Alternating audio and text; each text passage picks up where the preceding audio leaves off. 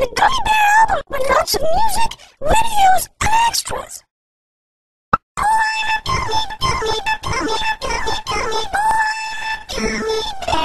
Yes, I'm